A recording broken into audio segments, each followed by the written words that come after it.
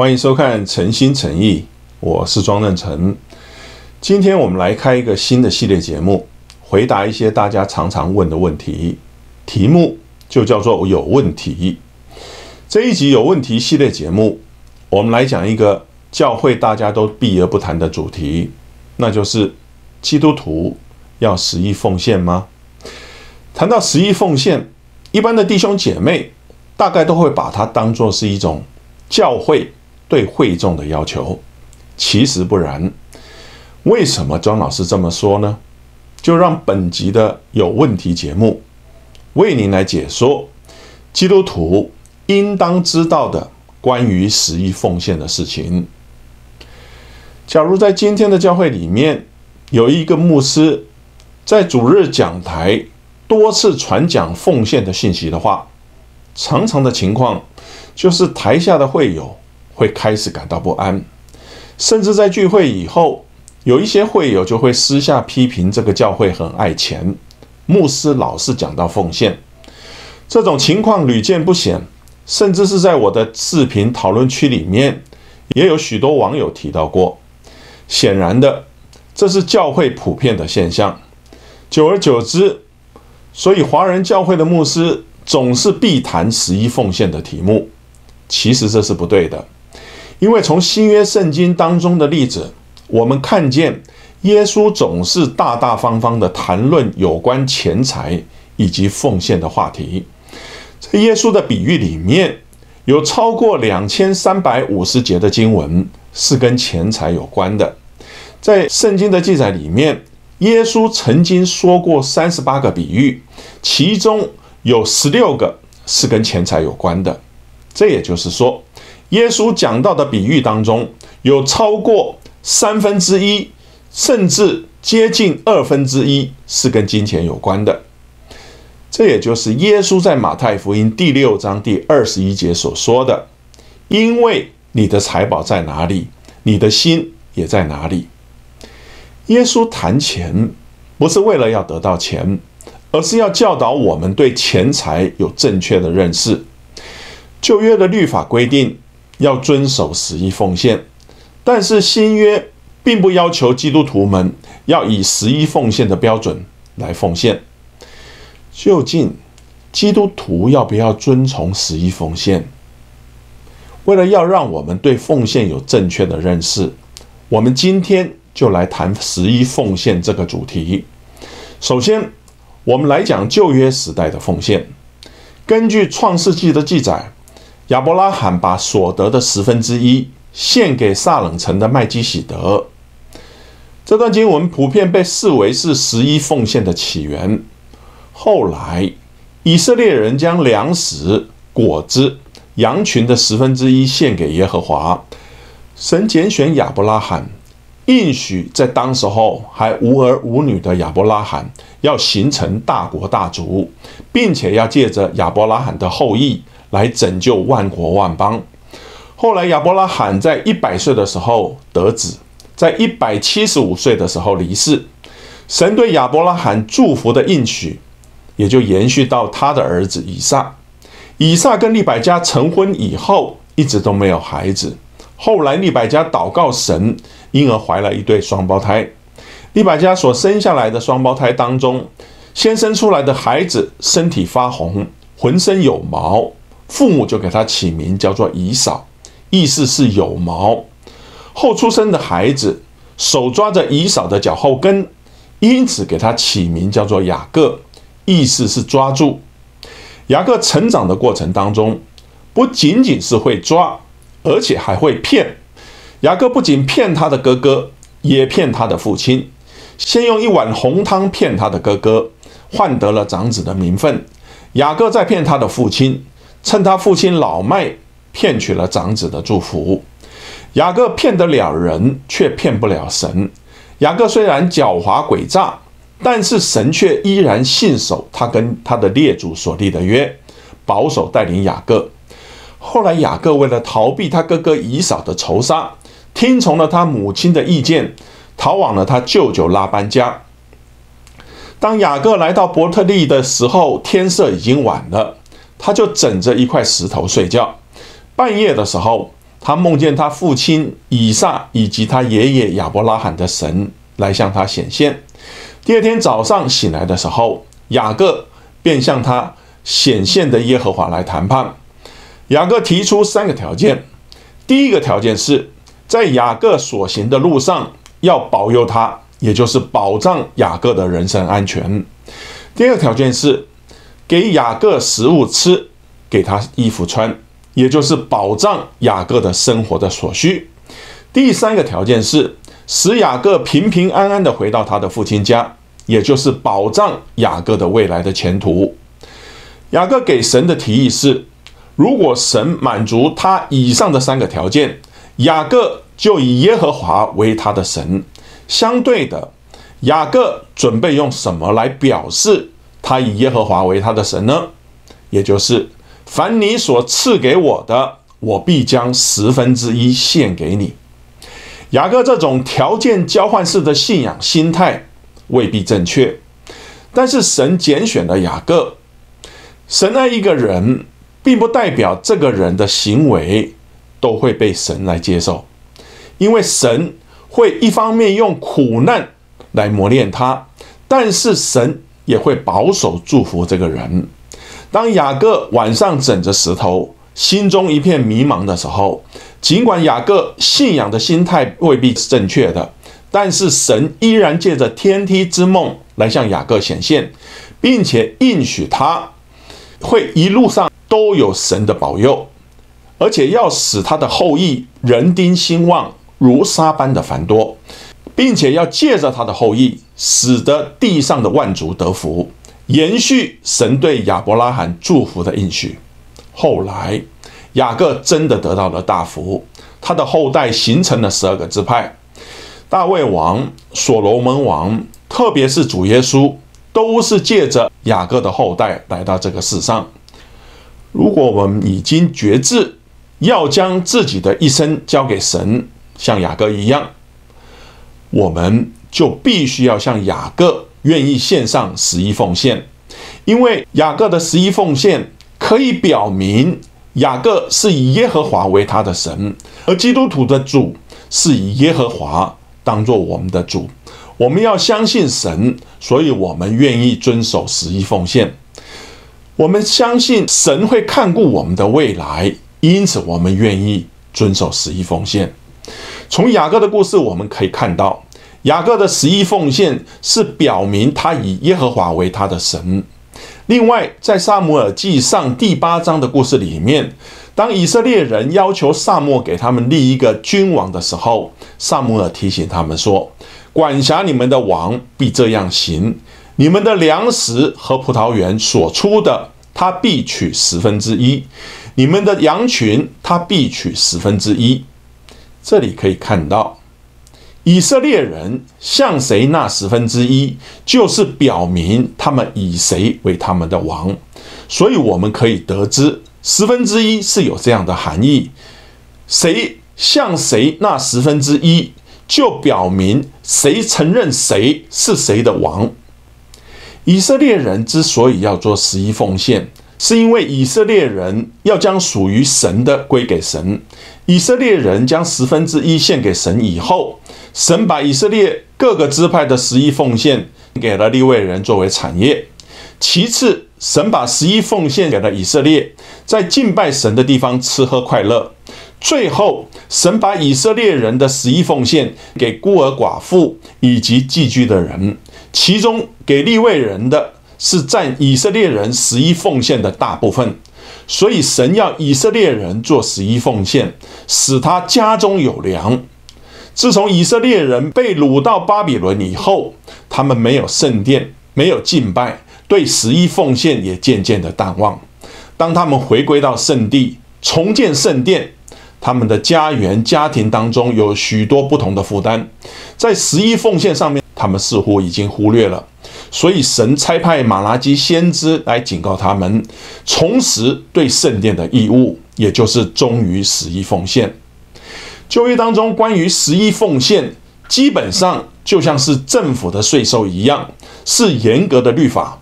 然而在新约当中，并没有对十一奉献有明确的教导。有人或许会困惑：既然新约没有这方面明确的教导，我们只要有奉献就可以了。为什么现在有些教会还要教导基督徒应该要按照旧约的十分之一的奉献的标准呢？其实，耶稣教导我们的是，不只要十一奉献，而是要我们完全的献上。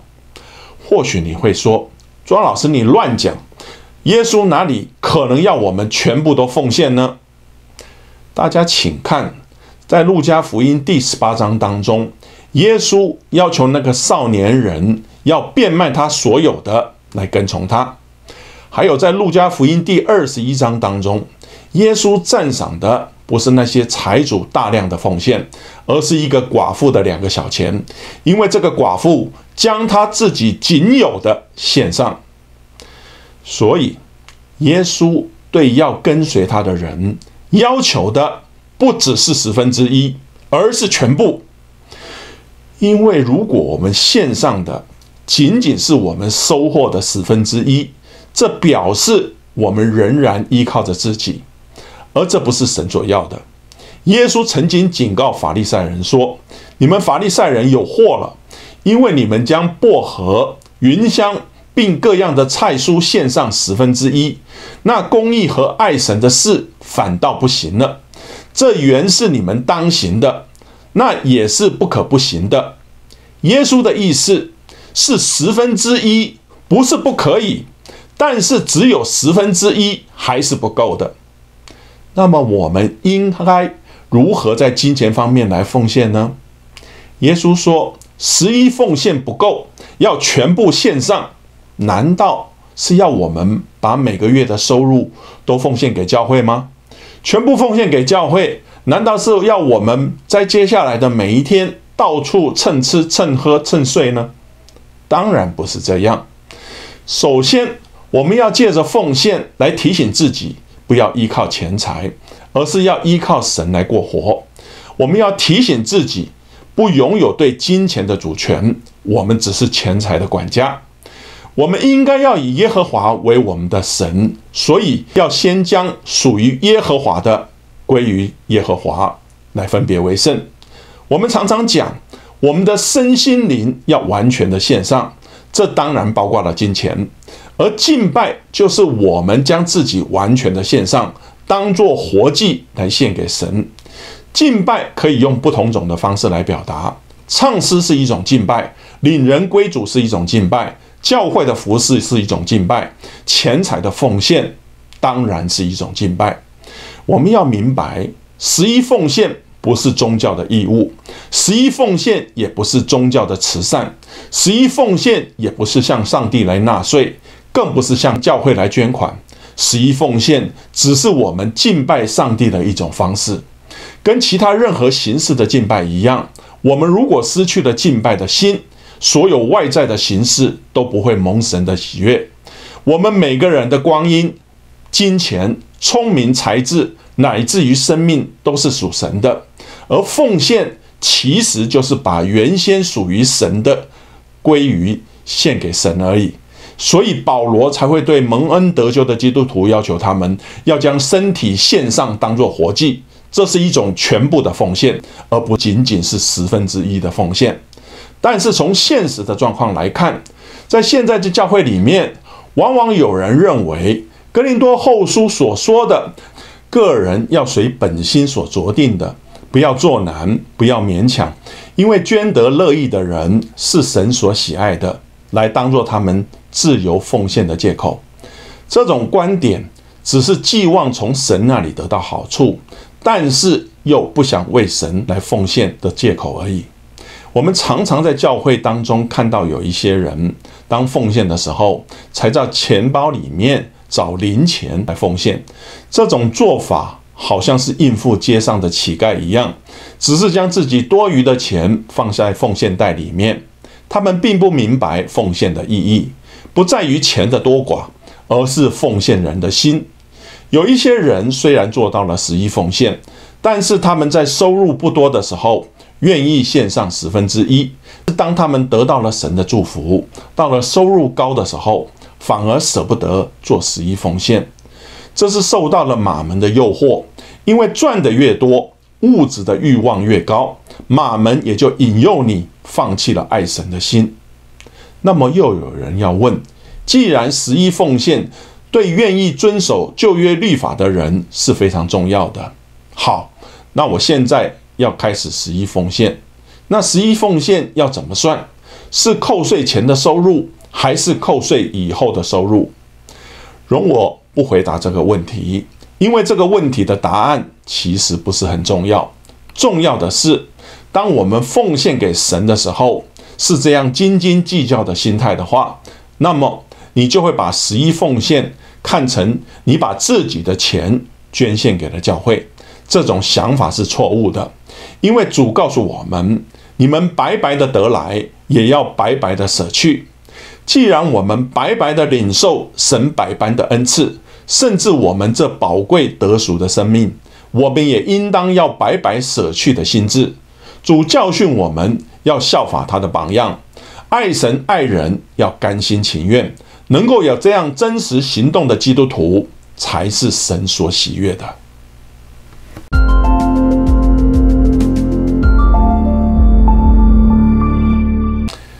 透过本集节目的探索，我们了解十一奉献的背景。由于神拯救了罗德以及他的家人跟财物，所以亚伯拉罕用十一奉献来表达对神的感恩。接下来，我们也花了一些时间讲雅各跟他的十一奉献。到了律法时代，由于神拯救雅各的后代，也就是以色列的十二个支派，十二个支派的长子原本。应当是归给神的，但是神后来拣选了立位人做圣公，来代替他们的长子献给神。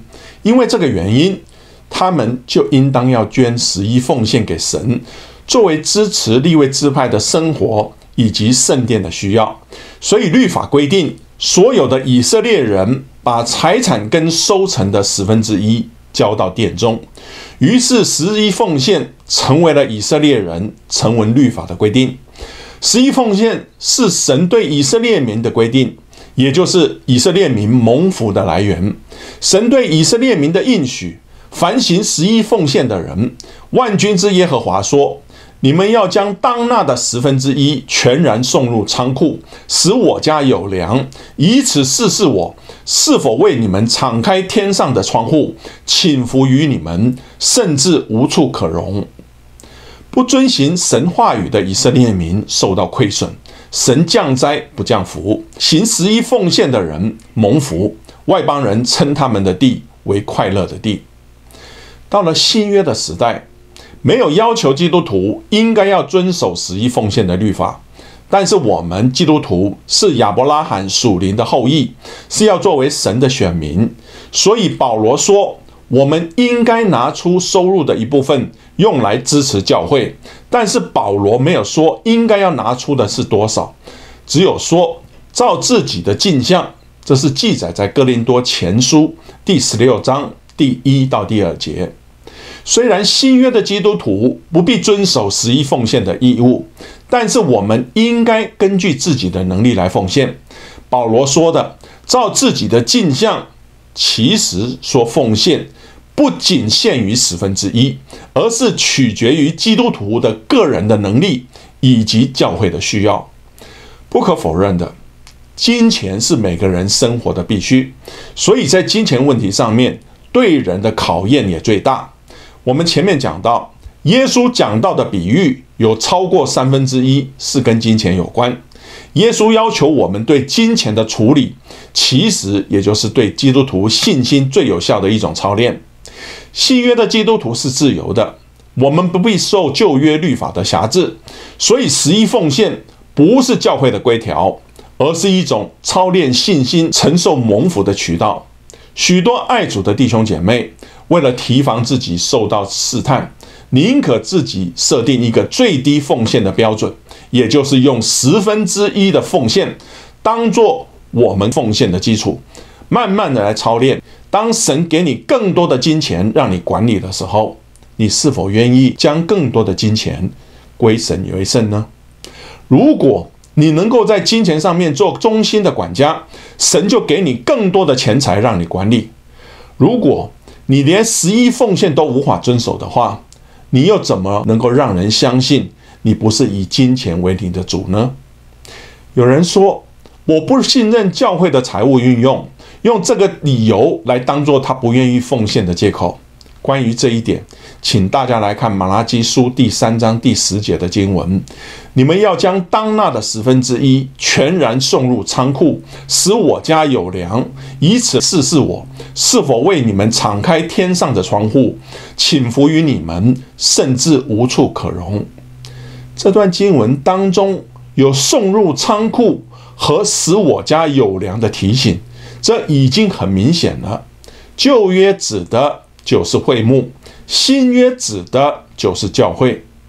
一个基督徒对自己所在的教会要有归属感，但是这种归属感被人解读成为了希望要能够支配他们所奉献的款项。其实这么想的人，并没有深刻理解“奉献”这一个词真正的含义。真正的奉献，就是我们应该要对奉献给教会的款项。放弃支配的主权。至于奉献给教会的款项应该要如何处理，教会已经选择了负责教会财务的童工。这些负责的童工是要对神交账的，也就是神的仆人管家。当仆人管理得好，神就会奖励他，并且托付他管理更多的钱财。至于不忠心的仆人，等到主人回来算账的时候，那个仆人就要遭殃了，因为凡有的还要加给他，叫他有余；没有的，连他所有的也要夺过来。如果你没有负责教会的财务，就不要对负责教会财务的童工颐指气使。如果个人对教会的财务运用有疑问的话，可以在教会的会员大会当中提出意见来监督教会财务，做有效的执行。除此以外，我们只要做好自己的本分就可以了。因为当我们尽了自己的本分，万军之耶和华说：“万国必称你们为有福的，因你们的地必成为喜乐之地。”这是记载在马拉基书第三章第十二节。对于愿意顺服神、奉献教导的基督徒们，再也没有比这节经文更令人兴奋的了。因为真心信主行道的我们，在奉献上面做了美好的见证，就连外邦人也要称我们为有福的。你愿意有这样的福分吗？就让大家从今天开始，就用身心灵，就是我们全人的生命来敬拜神，神必为我们敞开天上的窗户，倾福于我们，甚至无处可容。以上就是本集诚心诚意。有问题系列节目为您所介绍的基督徒要十一奉献吗？我们下次见。